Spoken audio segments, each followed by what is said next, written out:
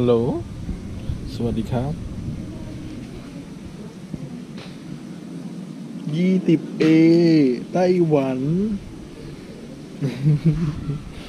ก็สวัสดีครับ วันนี้ได้ของเล่นใหม่มาเนาะ ก็เป็น ปั๊ม ไม่รู้ผมเรียกไม่ถูกนะ ปั๊มแบมโบ้เนี่ยแหละนะฮะ นี่ฮะอืมก็ เพิ่งมาส่งนี่ผมลองใส่เซนซงเซนเซอร์นะ ก็สวยงามสวยงามงานยี่สิบเอแต่สำหรับผมผมให้สักสิบเอนะผมว่ายังไม่ค่อยเนียนเท่าไหร่แต่ก็ยังดูวัสดุก็โอเคอยู่ครับ ก็เช็คลูกยงลูกยางแล้ว ใช้ได้ ยางแถมมาก็เป็น ของฟอร์ซ่าเนาะมันก็จะมีสองข้าง มีเซนเซอร์เบรกมีอะไร ครบ ก็เดี๋ยวไปใส่กันครับวันนี้ที่บ้าน เดี๋ยวไว้เจอกันตอนใส่เลยเนาะอ่าถึงต้องไปแวะซื้อน้ำมันเบรกด้วย ลืมซื้อน้ำมันเบรก ไม่รู้จะต้องใช้ยังไง คงใช้ดอททั่วไปเนาะ ดอทสามดอทสี่ได้หมด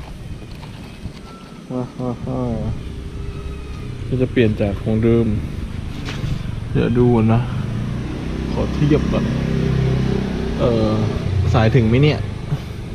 ไม่ใช่ลื้อแล้ว สายไม่ถึงนะชิบชิบอืมมันสายเบรกไม่ถึงเลยวะเวรละ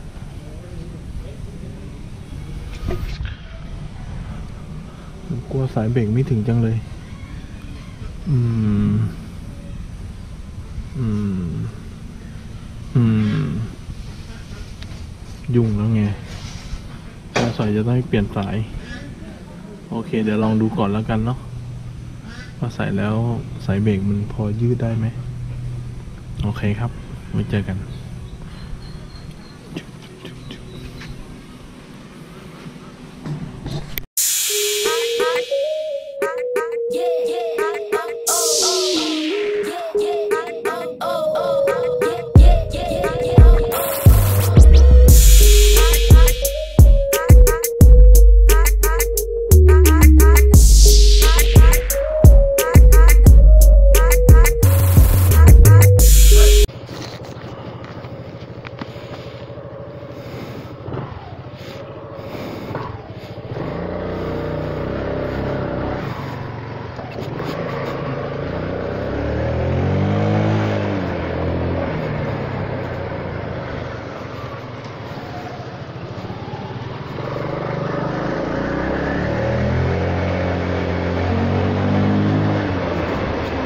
โอเค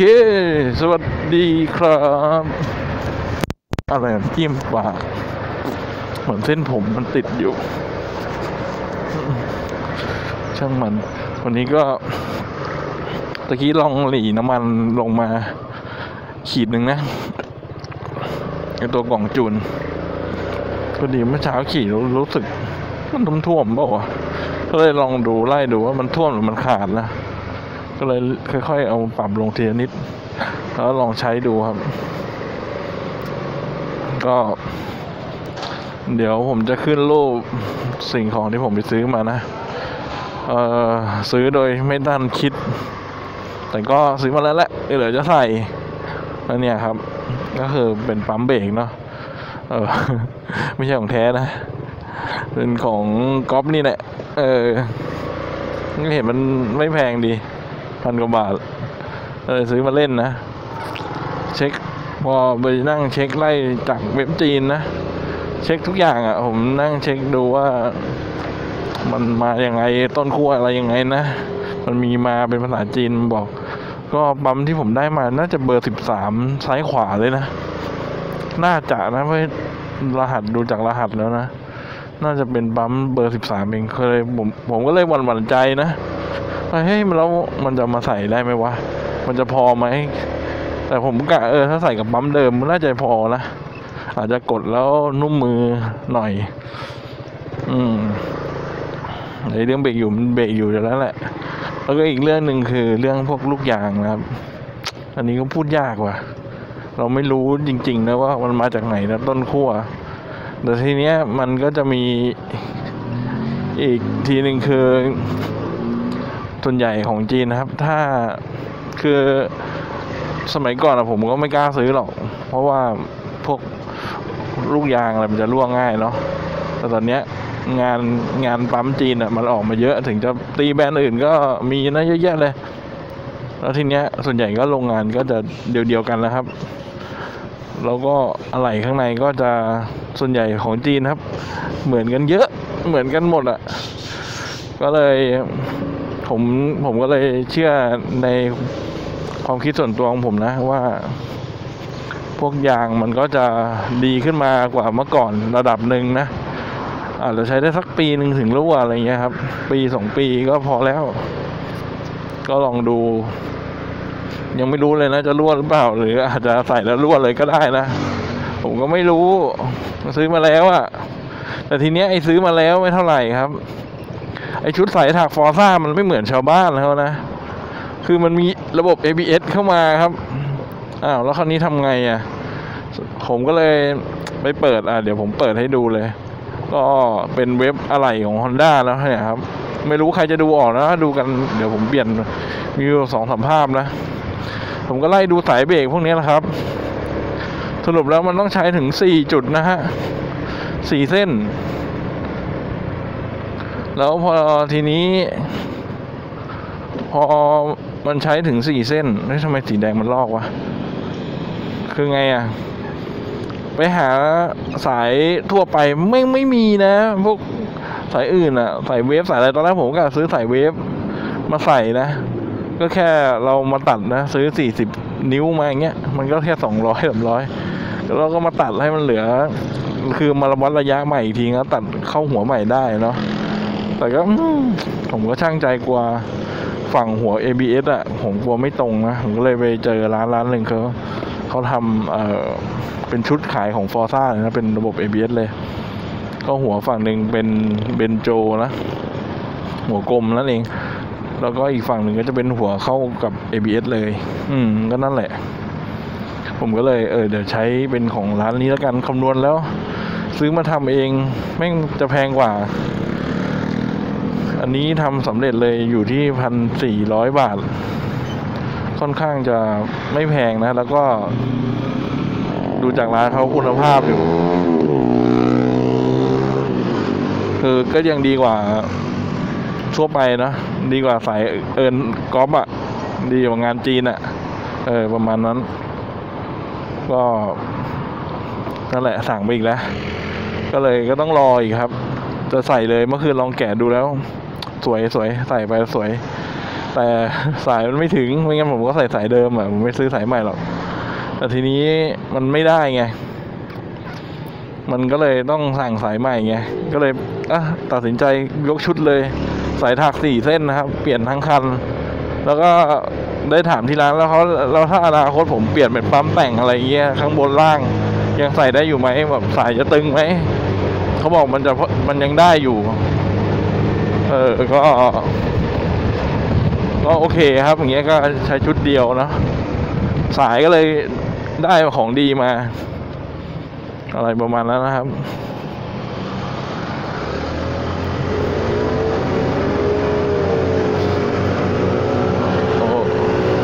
ผมหมดปอกเลยนะคลิกอะเสียงกองลั่นโบสเลย ก็เลยได้ผมก็เลยได้เอ่อ ได้สายใหม่มาเนาะสายสีนี้เลยครับ เดี๋ยวให้ดูเนาะสีฟ้าน้ำทะเลนะครับ ก็น่าจะเข้ากับโชคโชคของผมนะซึ่งเป็นสีนี้อยู่แล้วของก็คือสีในโตนั่นเอง โอ้มะม่วงอะขอไปไหนวะเนี่ย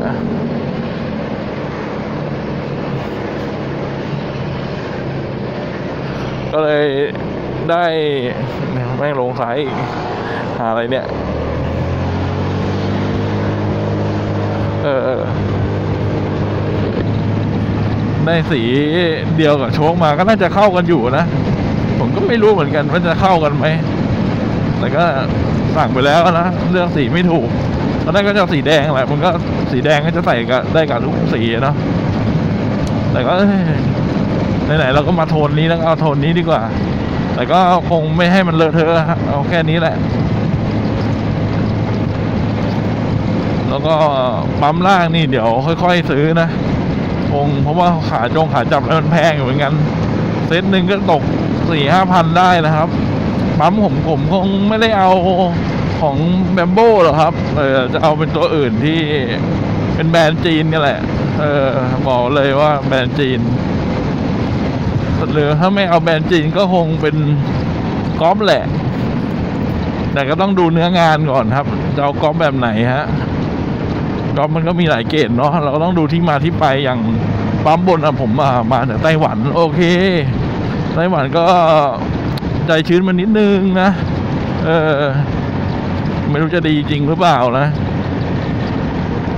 แต่ดูจากวัสดุวัสดุ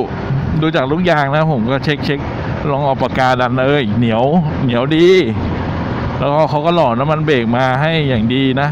แรงดงแรงดันน้ำมันเบรกก็โอเค มันก็ดันออกดีคือผมก็เช็คอย่างนี้แล้วนะว่ามันจะเช็คยังไงนะมันลองเอานิ้วดัน เออ มันก็มีแรงดันนะดำแล้วก็ใช้ได้ก็อยู่ที่ว่าจะไล่ยากเปล่าแต่ผมดูวิธีไล่น้ำมันเบรกมาแล้วแต่จริงๆผมก็เคยไล่น้ำมันเบรกนะ ก็ไม่ยากนะไม่รู้สิ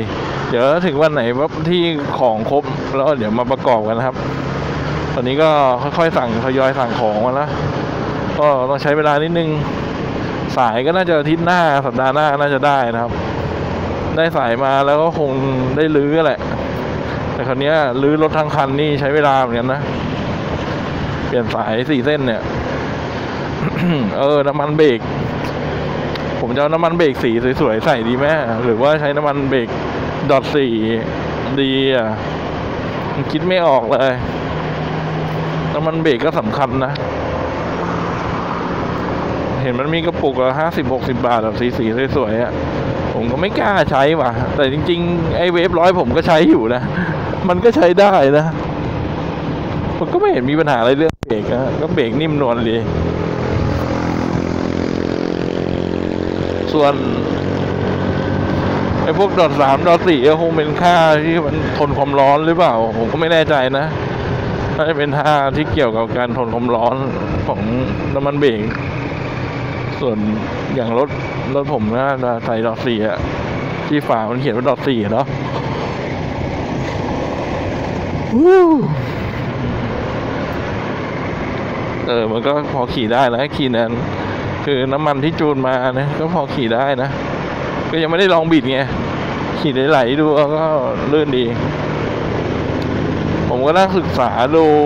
ละเอียดมากเลยนะ การใส่เบรกเนี่ย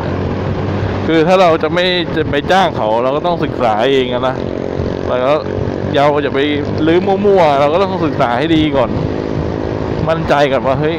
เราถูกต้องนะเราค่อยทำเนาะ ผมก็ไม่ได้เคยทำหรอกครับ มันรื้อก็ฟอร์ซ่าก็ผมก็มีคันแรกแล้วจะไปรื้อจากไหนแต่พังด้วยฝีมือตัวเองก็เพราะภูมิใจครับ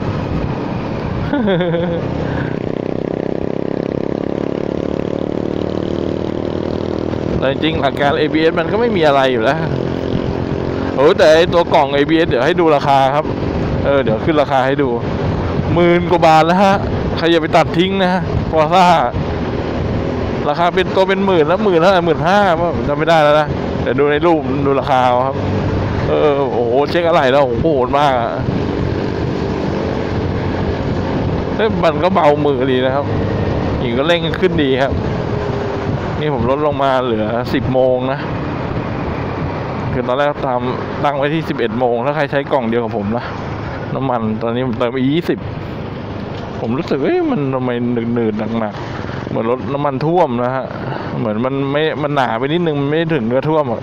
มันดูหนาไปบิดเหนื่อยๆนะฮะ พอเอิมรถมามันก็ใช้ได้อยู่นะ ใช้ได้ใช้ได้ บิดดูเบามือดิ เดี๋ยวดูเราออกตัวฮะ ว่าจะเป็นยังไงเนาะ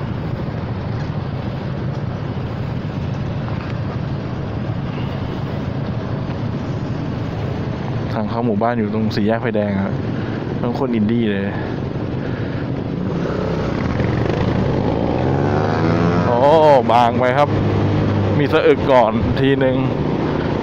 เอ้ยแล้วก็บะ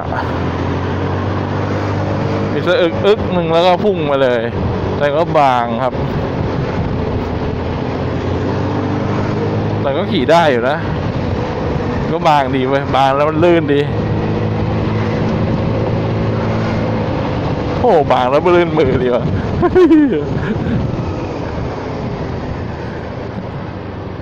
เออ ใช้ได้ว่ะ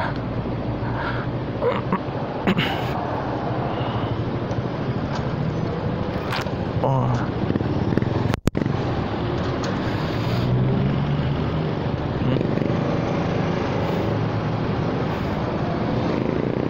หมดแล้วมั้งอืมหมดแล้วว่าอ่าเบียด อะไรกูเนี่ย เออ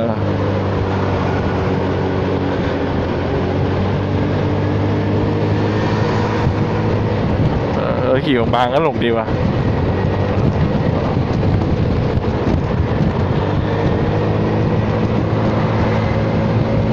โหนี่รถโล่งจัง วันนี้กี่โมงเนี่ยตอนนี้สี่โมงสี่สิบห้าแล้วครับทำไมาดูรถโล่งจัง ไม่มีรถเลยดูดิ น่าจะไฟแดงเพิ่งหมดไปนะอะยิงดูไป เราก็รอไฟแดงกันต่อไปฮะ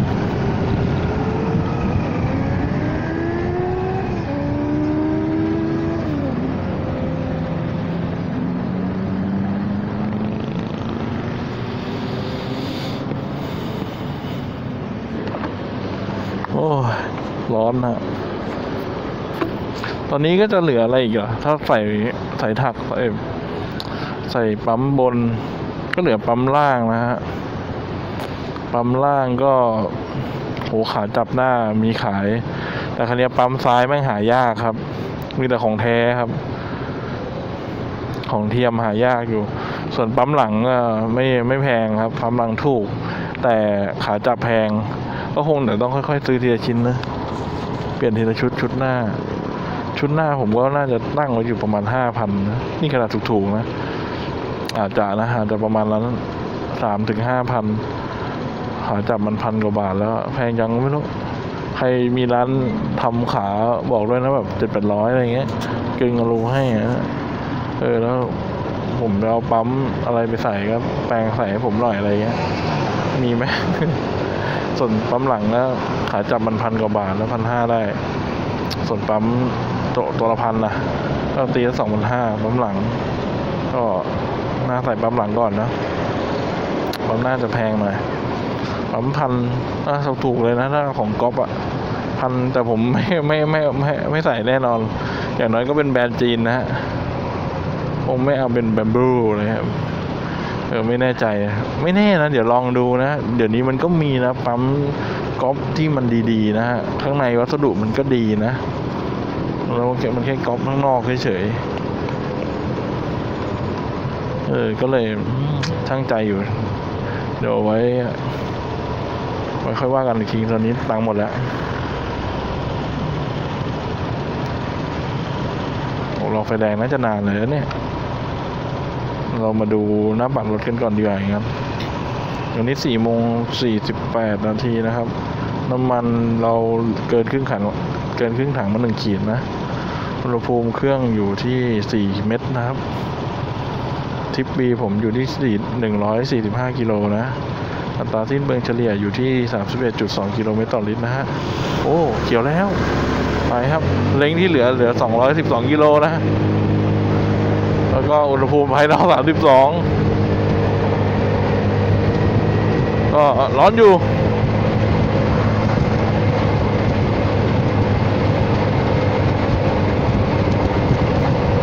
ส่วนอัตราสิ้นเปลืองนะอันนี้จะเป็นเม็ดสิบเก้ากับสิบหกนะครับ อัตราสิ้นเปลืองยังไม่ขึ้นเท่าไหร่ เพราะว่าน่าจะจูนหนามาหลายวันนะ ก็เลยไม่รู้เหมือนกันนะ วิ่งรอบสูงเลยมั้ง เพราะรอบมันก็สูงขึ้นอะ่ะ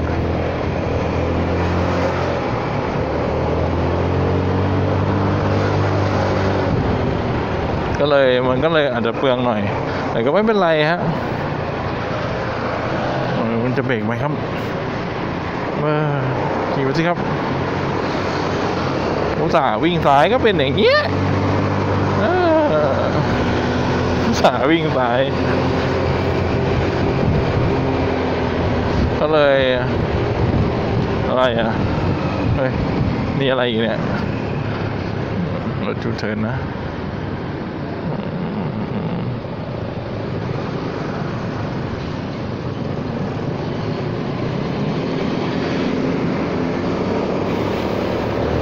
ฮ้ย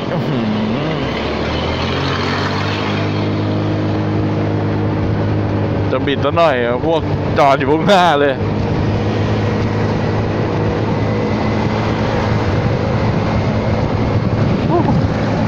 ลองดูครับ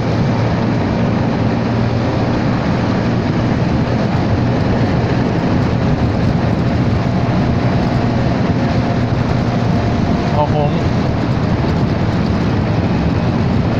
ดันเขาโค้งไปเลยครับ หมดแล้วลมแรงมากฮะทางดันลมนี้ร้อยสี่สิบประมาณนั้นแหละเอาไหลเว้ยเฮ้ยไหลเฉยเลยเว้ยเข็นดีไหมเออไหลดีนะ โอเคครับน้ำมันยังบางๆอย่างนี้ก็ผ่านนะ ใช้ได้อยู่ ไม่ต้องหมามากฮะขี่ดีอยู่ วิ่งดีเลยเมื่อกี้ลมแรงมากอะยังไปได้ร้อยสี่สิบห้าเลยนะ ก็โอเค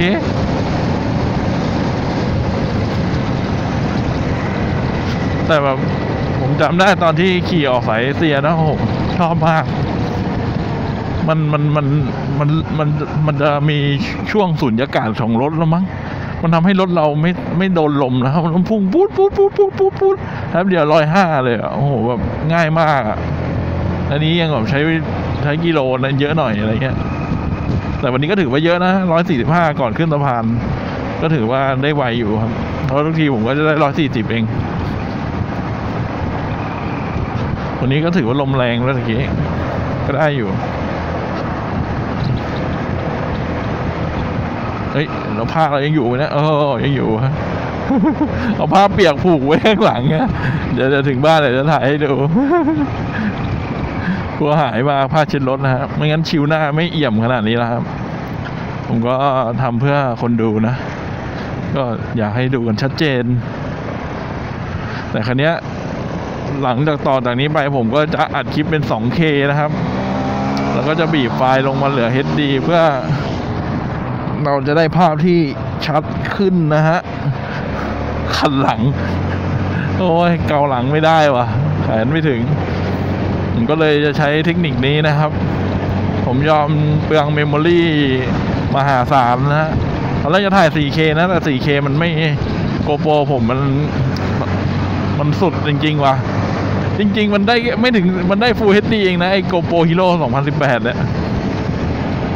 นี่ผมไป ไปเรียกว่าอะไรอะไปอัพเฟิร์มแวร์เป็น GoPro Hero 5 นะ ไปขี้โกงมันไว้ ตัว Black Edition เลยนะ ฟังก์ชันมันเลยของ Hero 5 ก็เลยมาเพียบเลย ทั้ง GPS อะไรก็เหมือนปลดล็อกมาแหละแต่ครั้นี้ผมว่าจะด้วยเอ่อเลนนะครับ ตัวเขาเรียกว่าตัวหน่วยประมวลผลภาพอะหรืออะไรทักอย่างเขาเรียกว่าอะไรวะไอตัวตัวรับแสงอะตัวรับภาพอะ มันน่าจะเล็กมันไม่ได้ใหญ่ครับ ความละเอียดมันก็ต่ำครับ เราไปทำซอฟต์แวร์มันสูงได้ก็จริงอะแต่ความละเอียดจริงมันก็เล็กอยู่ดีอย่างเงี้ยครับ มันเลยทำอะไรได้ไม่มากนะแต่ทีนี้ผมก็เลยพอมีวิธีจะช่วยได้ก็คือ ผมจะถ่ายให้ภาพวิดีโอใหญ่ขึ้นนะ แล้วเวลาเวลาอัดจริงอะให้ลดลดขนาดวิดีโอลงนะครับ มันก็เป็นเทคนิคทั่วไปของ ของของอะไรอะ ของช่างภาพมั้งผมว่านะผมว่าเทคนิคเนี้ยพอใหญ่แล้วบีบเล็ก มันก็จะโอ้โหตูดลอยเลย มันก็จะทำให้ชัดขึ้นนะภาพไม่แตกไม่เบลอครับ ก็เดี๋ยวมารอดูกันแล้วว่าคลิปนี้จะเป็นยังไงเนาะผมก็ไม่รู้เหมือนกันผมยังไม่ได้ลองนะแต่ตามทฤษฎีแล้วมันควรจะดีนะ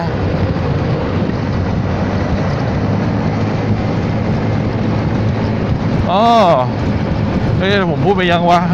เรื่องพัดลม ก็เออที่ผมติดค้างไว้นะ น่าจะต้องพูดวันนี้แหละพัดลมมีสองกลุ่มสองกลุ่มหลักๆนะฮะใบพัดลมอ่าหรือว่าลักษณะของการใช้งานของพัดลมนะก็จะมี Air 4 กับ อะไรวะ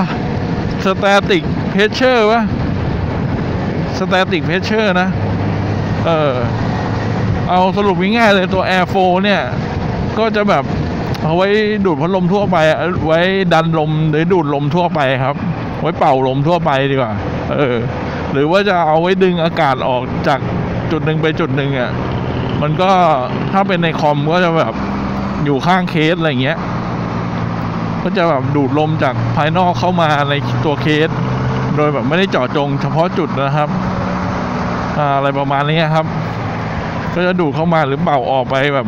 เฉพาะไม่ไม่ได้เจาะจงก็คือดูดรวมรวมๆนะครับ ดูดผ่านไปแล้วมันจะปัดน้ำฝนให้กูเปียกทำไมครับ โอ้เฮ้ยหรือฝนวะเอาฝนวะไม่ว่าเขาเฉยเลย โอเค ต่อเลยฝนก็ช่างมันฮะแล้วทีนี้ ส่วน static pressure นะฮะ น่าจะ static pressure นะผมจำชื่อไม่ผิดนะ ตอนนี้จะเป็นพัดลมที่สามจะเป่าหรือดูดแบบ เฉพาะเจาะจงตำแหน่งนะครับ เหมือนถ้าในคอมก็คือเป็นพัดลม CPU นั่นเองครับ ก็จะเป่าอัดลงไปที่ CPU ด้วยความแรงที่สูงนะครับ ตัวพัดลมตัว static pressure ก็จะมีรอบที่สูงกว่า ตัวพัดลมที่เป็น air flow นะครับ ส่วนใหญ่จะสูงกว่าครับ แล้วก็มีอะไรอีกอะถ้าดูดออกก็เหมือนกัน ตัว static pressure เนี่ย มันก็จะดูดออกได้แรงกว่า ดูดออกดูดเป็นที่เฉพาะจุดอะไรอย่างเงี้ยครับ ส่วนลักษณะใบนั้นผมหาข้อมูลแล้ว ไม่ค่อยมีครับการตักลมนะ ก็เลยบอกไม่ได้ว่าลักษณะใบเป็นยังไงนะครับ คือมันมันต้องไปอ่านเปเปอร์ของฝรั่งเขาอะเออแต่ผมก็เอามาคร่าวๆประมาณนี้ครับ เดี๋ยวนะ เราต้องจอดเก็บมือถือครับ เฮ้ยแต่มันก็ไม่โดนเลยวะชื่อมันแม่งบังเว้ยอันนี้ผมเปียกครับ ก็มาลุยฝนกันเลย เดี๋ยวทุกๆห้านาทีผมก็จะเช็ดกล้องนะ โอเคตอนนี้ จะลื่นไหมเนี่ย ฝนแบบเนี้ยโคตรลื่นเลยไปครับไปได้อยู่ก็ไม่ได้ใส่เสื้อคงเสื้อคลุมแล้ว เปียกอีกแล้ว เดี๋ยวเก็บกุญแจก่อนนะเอาไงดีวะ จอดข้างดีไหมจอดข้างดีกว่าลงไปลงไปไปเก็บของก่อนนะลงไปเก็บของก่อนครับ เดี๋ยวค่อยขึ้นสะพานอืมเดี๋ยวหา ที่จอดกันครับ โอ้มีน้ำมันเนี่ยดีเลยโรงงานล้างเริ่มไปจอดบนนี้กันนะครับอ่าตรงนี้น่าจะเหมาะที่สุดขอเก็บมือถือก่อนนะครับ เดี๋ยวเปียกแล้วตัวนี้ไม่ได้กันน้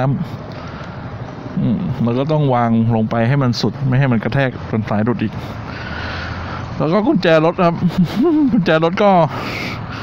ไม่น่ากันน้ำเอ้ย ไม่น่ากันน้ำ แต่มันมียางหุ้มอยู่ ก็โดนน้ำไปหลายรอบก็ไม่เป็นไรนะ โอเค สายไม่ตึงนะ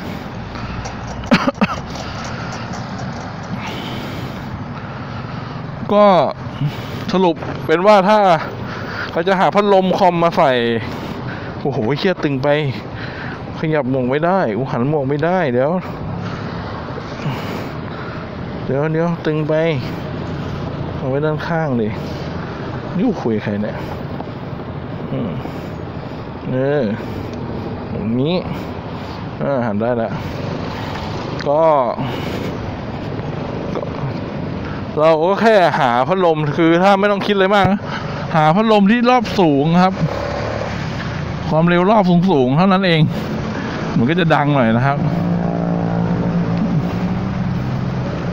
พัดลมเซิร์ฟเวอร์นี่ผมก็ไม่แน่ใจว่าเป็นในกลุ่มไหนนะ แต่หลักๆก็มีอยู่สองกลุ่มนี้แหละ ที่สามารถเอาไปใช้ ส่วนที่จะจะเอามาใช้กับมอไซค์ก็ ถ้าให้ดีก็คงต้องเป็นไฮเพ r เชอร์อย่างที่ผมบอก ตัวไฮเพ r เชอร์อ่อสแตติกเพ r เชอร์นะ ก็คงจะเป็นพัดลมที่มีความเร็วที่สูง กระแสก็กินสูง แต่พัดลมคอมครับ 2 แอมป์แม่งก็สำหรับรถมอไซค์ก็เหลือๆฮะ ไม่ได้อะไรเลย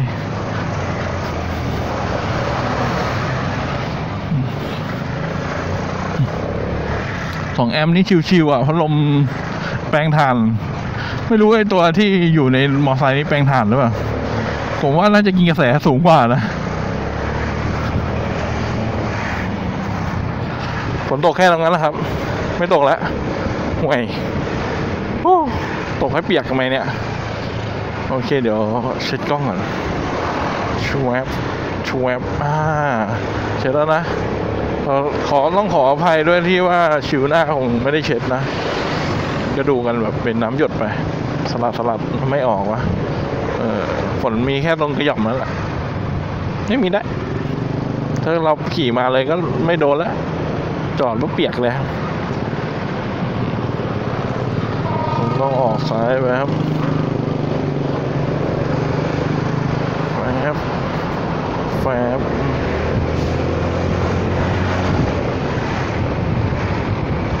อืมแล้วก็มีอะไรอีกอะเรื่องพัดลมก็น่าจะจบแล้วเนาะผมก็หาข้อมูลมาคร่าวๆคงไม่ได้บอกรายละเอียด จริงๆ มันมีรายละเอียดลึกมากครับ มันมีเยอะมาก เรื่องพัดลมเนี่ยแม่งแบบที่จริงใบพงใบพัดมันก็มีแหละ แต่มันไม่ต้องไปจำเป็นต้องรู้เปล่าวะมันจำเป็นเปล่าวะผมก็ว่าเราก็รู้ว่าประเภทพัดลมนะสองตัวนี้ การดูดแบบเจาะจงกับแบบดูดไม่เจาะจงก็เป็นยังไง ก็ใช้ให้ถูกเท่านั้นเองเลือกใช้ให้ถูก พวกความเร็วรอบต่ำๆก็มันก็จะไม่ช่วยนะฮะยกตัวอย่างอย่างอย่างเห็นได้ชัดก็คือ พัดลมรถยนต์เนี่ยครับ แค่แค่เป็นตัวเทียบกับตัวแท้นะครับ ต่างกันเลยนะประสบการณ์ผมนะครับ ผมใช้ยาริสนะครับยาริสตัว2014 เนาะเออคันนี้เนี่ยเนี่ยก็เคยใช้เคยใช้ขายไปแล้ว ก็ผมเคยมีปัญหาคือพัดลมที่ม้อน้ำพังเนาะมันเป็นพัดลมตัวเดียวของรถเลย โอ้โห ก่อนมันพังนะครับ แปลงถ่านมันไม่ค่อยดีเนาะ ผมก็รู้ว่าแม่งแปลงถ่านหมด แต่จะทำอะไรไม่ได้ มันแกะไม่ได้ มันฟิกมา ก็ต้องซื้อใหม่อย่างเดียวทั้งลูกนะ ยกลูกอย่างเดียวนะ ก็สองพันกว่าบาท ก็ก่อนโอ้โหกว่าจะพักเนี่ย ผมวิ่งเส้นนี้นะความร้อนขึ้นอึดอึดอึดเลยเพราะความเร็วรอบไม่งตกไปนิดเดียวเองอะ่ะ ก็รู้เลยว่ามันใช้ไม่ได้นะ แล้ว ผมก็เลยลองใช้ของเทียบดูนะฮะ ลูกละเจ็ดร้อยบาท โอ้ ไม่หาย บอกเลย แปลงด้วยตอนนั้น แปลงเอาของเอาติดมาใส่นะจะคล้าย ๆกัน แปลงใส่ได้เอ่อช่วยได้ระดับขี่ปกติ แต่เจอรถติดๆความร้อนขึ้น คือมันก็มันจะขึ้นช้าแหละ มันก็พอไปได้อะแต่จะเจอรถติดแดดเปรี้ยงๆอะเออขึ้น ความร้อนกระพริบกระพริบไปแต่มันยังไม่ถึงกับกระพริบที่หน้าจอนะตอนนั้นผมใส่ดีฟี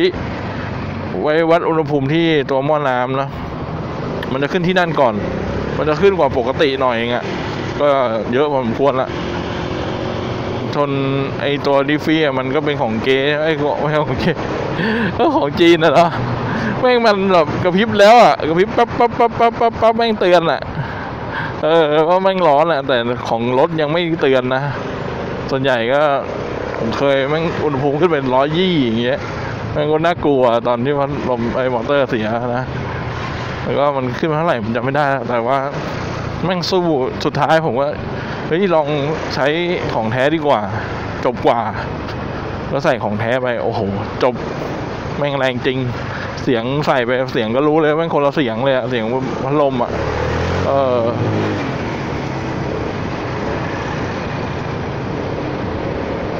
ก็นั่นแหละครับพัดลมพัดลมหม้อน้ำของรถรุ่นใหม่ ๆ นะ ก็จะเป็นเฉพาะเจาะจงนะฮะคือต้องมีแรงแรงเป่าหรือแรงดูดมหาศาลมาก คือรอบต้องสูงมากอะถึงจะระบายได้นะครับไม่งั้นระบายไม่ออกนะ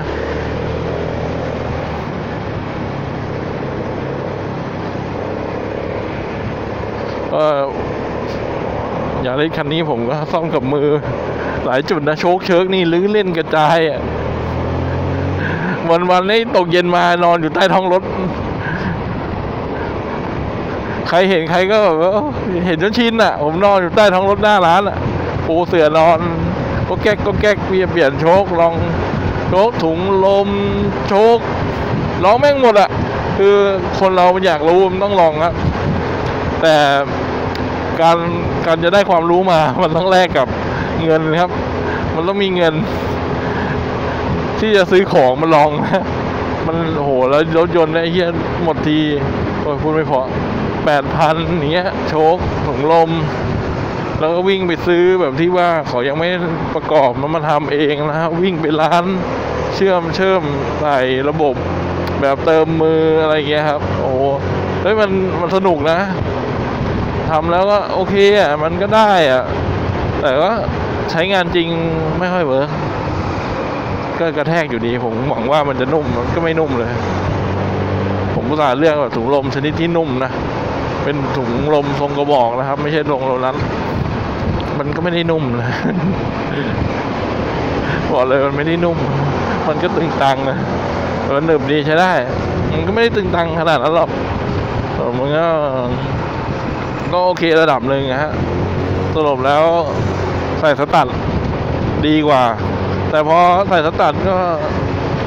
มันก็ดีครับขับดีกว่า แล้วก็ตึงตังกว่า นิดหน่อย แต่ก็หนึบดีใช้ได้ครับ ใส่สตัดก็ไปเสียมาอีกหมื่นห้าครับใส่สตัดแบบเซ็ตน้ำมันไม่ได้แต่ก็เขาเซ็ตมาพอดีมากก็ขายไปแล้วแล้วได้กำไรคืนมาเพราะขายได้ตัวนั้นมียี่ห้อ ใช้เหมือนเหมือนเช่าใช้อะ ใช้มาครึ่งปีก็ได้เดือนละพันประมาณนั้น เออขายได้เป็นหมื่นเหมือนกัน แล้วมีอะไรอีกอะที่ลอง ก็เป็นสปริงโรดนะลองสปริงโรดกับเขาบอกโชคเดิมอะเขาบอกเดิมแม่งแปลกมันก็ไม่เชิงแปลกอะมั้งแต่ผม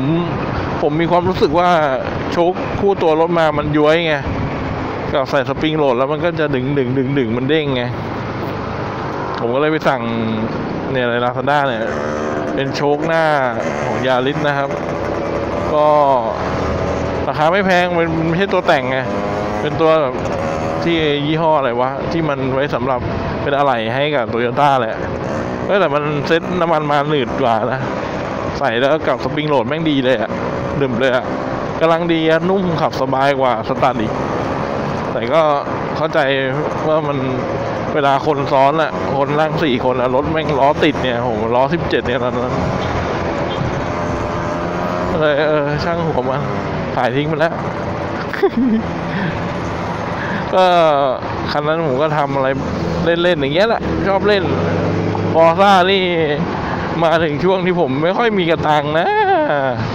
ถ้าเป็นช่วงที่ผมมีตังค์เหมือนนที่ขับยาริสนะโอ้โห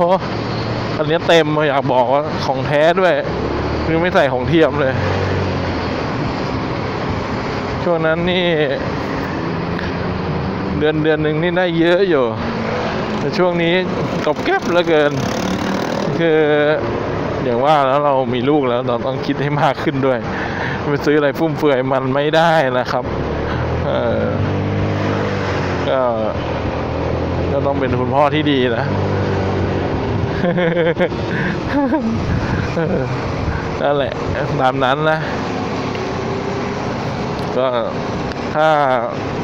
ทุกท่านที่ยังไม่กด subscribe ช่วยผมกด subscribe ผมก็จะมีของเล่นมาแต่งให้ดูเรื่อยๆนะครับ ให้กด subscribe แค่หนึ่งพันซับเนี่ยครับ ผมว่าผมน่าจะพอมีงบมาทำอะไรได้บ้างนะครับ เออ ตอนนี้คือมันไม่มีรายได้จาก YouTube เนี่ย มันเลยมันไม่มีเจียบตรงไหนมายากไงครับ ที่จะมาทำรถให้ดูนะฮะ เอามาซ่อมให้ดูมาปรับปรุงมาแต่งมาเสริมอะไรให้ดูนะฮะ ก็ถ้าท่านใดที่ชื่นชอบ แล้วก็อยากเห็นการพัฒนาของผมไปเรื่อยๆนะฮะ ว่าผมจะทำรถอะไรทำอะไรใส่อะไรเพิ่มอะไรซ่อมอะไรยังไง ก็กด subscribe ให้ผมด้วยนะครับ ชวนพี่ป้านะอามากดให้มันถึง 1,000ทักทีครับ นี่ขอเลย ตอนแรกว่าจะไม่เอาโฆษณานะแต่คิดไปคิดมา ถ้าเราจะทำให้ให้ไงอะให้มันเกิดอะไรที่มันอย่างเงี้ยเนี่ยอย่างผมซื้อปั๊มมาเนี่ยเดี๋ยวผมจะทำให้ดูทำอย่างละเอียด จะบอกให้ละเอียดที่สุดนะครับ ตามขั้นตอนนะ ก็ ก็นั่นแหละมันก็เป็นประโยชน์แก่ท่านอื่นนะ ว่าจะได้ไว้ดูกันนะครับ เออ คือผมไปดูคลิปคนอื่นนะ ก็มีบางท่านที่สอนดีสอนเข้าใจสอนใส่หัวสอนอะไรนะแต่มันก็ยังมีบางคนที่ยังต้องการความรู้เพิ่มอย่างผมอะ ผมดูคลิปพวกนั้นแหละบางคลิปแม่งก็สอนแบบข้ามข้ามข้ามอะกำลังจะใส่เอาตัดกูใส่เสร็จแล้ว แล้วมึงใส่ยังไงกูจะรู้ไหมอะไรอย่างเงี้ยครับ เออ คือบางอย่างมันมีเทคนิคในการใส่ก็ต้องบอกอะไรอย่างเงี้ยครับ ไม่ใช่ข้ามข้ามข้ามข้ามนั่นแหละ ผมก็จะบอกให้ละเอียด ให้ชัดเจนนะพยายามจะทำประมาณนั้น ก็นั่นแหละจะได้มีอะไรมันดูกันไง เออ กดเลยครับอพี่ป้านะอะไรกดซับให้หมดเลยฮะ มันจะได้หนึ่งหนึ่งพันแล้วพิงผมรุ่นผมขอแค่หนึ่งพันเนี่ย ผมก็ไม่รู้ว่ามันจะได้เยอะได้น้อยนะ แต่อย่างน้อยมันพอจะมามากรุบกริบกรุบกิบทำอะไรได้บ้างนะตอนนี้ผมก็ต้องเก็บเงินเก็บทอง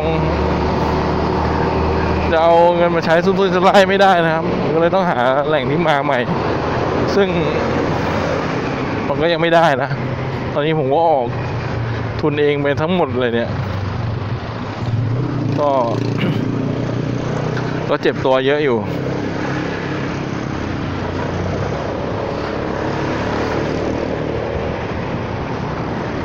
แต่ก็นะ ถึงไม่ถึงก็ไม่เป็นไร ผมก็ค่อยๆซื้อทำไปก่อน ก็มีความสุขอะ่ะ ผมได้ทำผมชอบอยู่แล้วหรือหรือรถหรืออะไรทำไปเรื่อยเปื่อยนะมีความสุขที่ได้รื้อบอกเลยว่า หรือเมื่อคืนนี้ก็รื้อนั้นชุดบนเนี่ยชุดนี้หรือชุดแผงคอออกมา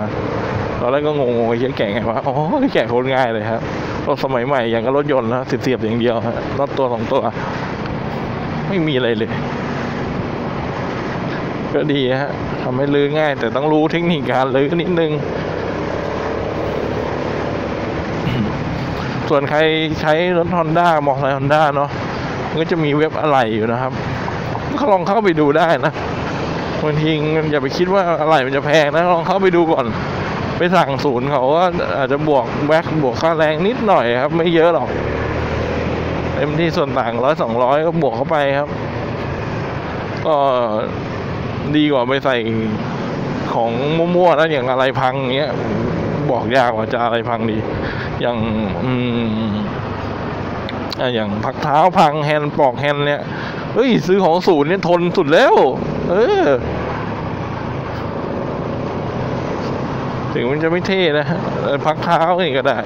หรืออะไรพังเรียงกระจกเงี้ยกระจกซื้อของศูนย์เลยถูกจะตาย ไม่แพงนะถ้าใครขี่พวกเวฟพวกคิกเนี่ยโหกระจกถูกมากผมไม่แพงเลย เออ หลักร้อย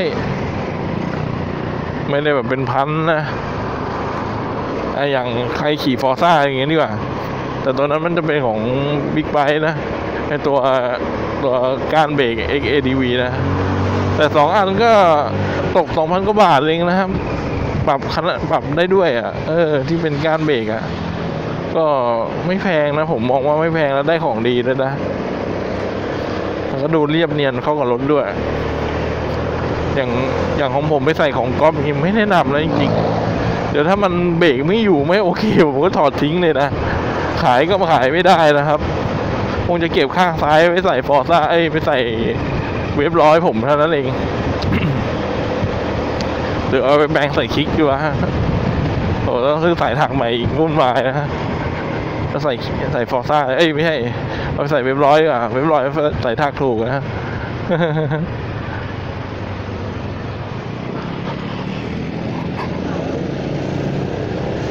ผมนั่งดูพวกอะไรแต่งนะโหถ้าใครเล่นพวกเวฟร้อยร้อยยี่ห้าตัวใหม่นี่เป็นหัวฉีดนะโอ้ยของแม่งเยอะมาก ผมยังไงเออแม่งของโคตรเยอะเลย นี่ผมจะว่าจะนั่งดูเสื้อคลิกเลยนะเสื้อสำเร็จเลยนะคลิกแล้วก็มีลูกทรงลูกสูบพร้อมนะครับ ซื้อจับสับเลยเลยอย่างเงี้ยเออสั่งมาใส่พันสองพัน คลิกแรงๆเลยเป็นคลิกร้อยห้าสิบอะไรอย่างเงี้ยอยากลองอยู่เหมือนกัน แต่คลิกไม่ค่อยได้ขี่อะพ่อเขาใช้อยู่มันก็ตามนั้น เดี๋ยวซื้อน้ำมันเครื่องไปใส่ให้เขา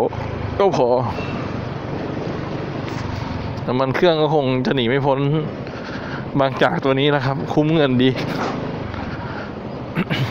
ส่วนน้ำมันเฟืองท้ายคงว่าจะซื้อแกลลอนใหญ่นะ เอาไว้ใส่ แล้วตวงใส่เอาซื้อแกลลอนใหญ่ก็จะถูกกว่าพวกไอ้นั่นนะ ซื้อไปหลอดโอ้ยแสบคอแล้วครับพี่น้อง พูดไปตลอดทางนะ นี่ห้าโมงสิบหกนาทีนะ วันนี้บอกเลยว่าพูดเพลินจริง ๆ โม้ไปเรื่อยเนี่ยเพลินแล้วแป๊บเดียวถึงบ้านเลยเนี่ยโอ้ไม่รู้เลยกี่โมงกี่ยามตอนแรกน้ำมันอยู่ไปหนึ่งเม็ดนะฮะตาสิ้นเปลืองก็สามสิบเอ็ดจุดหกประมาณนี้ แล้วก็ที่ปรับ ปรับน้ำมันขนาดนี้ผมว่าโอเคนะ ดูไม่อึดโอ้ยมีอะไรจะบอก อ้ไข่ฟาด จุกโอ้ยโอ้ยเจ็บ โอ้ย คือเติมลมยางหลังสามห้าหน้าสามห้าครับ รถแม่งแข็งมากอะ่ะอาตรงว่าแข็งอะ่ะแต่ผมชอบอะขี่ลื่นดีผมก็ไม่แข็งผมเห็นได้คันข้างๆผมเติมตั้งสามแปดผมเติมสามห้าเอง แล้วผมเซ็ตโชคให้แข็งด้วยไงนั่งซ้อนสองไง ยิ่งสะเทือนเลยฮะเมื่อกี้นะฮะนึกถึงนะครับไข่ไก่แล้วมันหล่นโดนพื้นแล้วมันก็เร่งกลับโอ้โหจุกจุก จังหวะที่แบบยกยกขาขึ้นงี้ไงแล้วอะไรที่มันห้อยต่องแต่งก็นั่นแหละ มันกระแทกพอดีเลย โอ้จุกเลยอะกระแทกแรงมากเลยรู้สึกเลยว่า มันดังปุ๊กโขกกันละลูกป่องลูกแปง มันโขดกันแล้วปุ๊กเลยโอ้โหเบาะฟอร์ซ่าเนี่ยค่อนข้างแน่นแข็งนะเออ พูดถึงยังไม่ไปรีวิว X Max เลยนะดูนี่ครับ อาการแผลติดเชื้อของผมแห้งหลุดนะนี่ผมไปแกะสะเก็ดมันโหมันกินเนื้อลึกมากอะ่ะ ดีที่ผมหาหมอไวนะครับ คือตอนแรกกลัวจะเป็นพวกงูสวัสด์อะไรอย่างเงี้ยนะเพราะอาการมันเหมือนมากเลยฮะนี่ก็ยุบแล้วเดี๋ยวดูดิเป็นรูเลยเห็นไหม ผมไปแกะ ผมก็ว่าสะเก็ดแผลมันแปลกๆเว้ยทำไมมันหนาจังวะก็เลยลองแงะเล่น โอ้เป็นรูเลยนะเนี่ย มือเป็นรูเลย โอ้มันกินเข้าไปลึกมากครับ เจอยาฆ่าเชื้อไปจบเลยครับ แล้วก็ทำความสะอาดแล้วล้างมือตลอด ให้สะอาดที่สุดนะฮะ ก็ตอนเรามียาขัดด้วย เป็นยาสครับนี่ของหมาที่ร้านนะฮะเอา ไว้ที่ไว้ขัดหมาขี้เลือนนะ มันก็เป็นยาฆ่าเชื้อนี่แหละ เออ เป็นยาขัดไม่ต้องล้างออกนะ ผมก็จัดเลยครับ ของหมาก็มีฮะขัดขัดขัดทำความสะอาดคือแผลติดเชื้อนี่อันตรายนะฮะ ถ้าติดเชื้อแบคทีเรีย ถ้าไม่รู้ว่าคนเคยเห็นกันไหมที่มันสามารถกินไปกับทั้งตัวได้เลยนะครับ ถ้าคนติดเชื้อแบคทีเรียขึ้นหน้านะ มันกินหน้าแหว่งเห็นกระดูกตาโบเลยนะ แล้วไม่ตายด้วยนะคนอะ น่ากลัวมากเลยนะครับ การติดเชื้อเนี่ย ผมคือผมอยู่กับหมาก็อะไรเงี้ยเห็นแล้วแบบผมกลัวไงไม่รู้ว่าผมไปโดนอะไรมานะผมก็เดาว่า ผมสกปรกนะ น่าจะสกปรกเองนะคือแบบถุงมงถุงมือที่ขี่มอเตอร์ไซค์ไม่ซักอะไรเงี้ยมันก็เริ่มจากเป็นตุ่มคันก่อนแล้วติดเชื้อ มันก็ขึ้นน่ากลัวมาก ผมมองว่ามันน่ากลัวนะ ก็ไม่รู้แต่เราทำความสะอาดไปแล้วโอ้ไม่คิดจะเบรกเลยคันแดง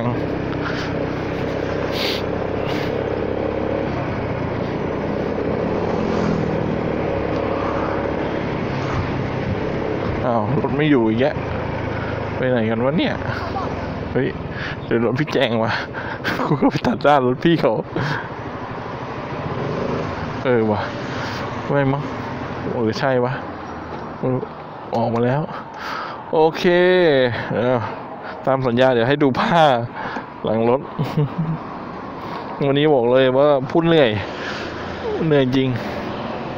นี่ครับผ้าเปียกผูกไว้อย่างนี้ก็ เดี๋ยวเลย โอเค วันนี้ก็เท่านี้แหละ โอ้ถึงแล้วอย่าลืมกดไลค์กด Subscribe ผมด้วยนะครับ ขอบคุณที่ติดตามรับชมนะยังไงก็จะทำคลิปให้ไวขึ้นนะคือช่วงนี้ก็เกเรนิดหน่อย โอเคบ๊ายบายครับเจอกันใหม่คลิปหน้านะทำไมแจ็คมันเหมือนหลุดเลย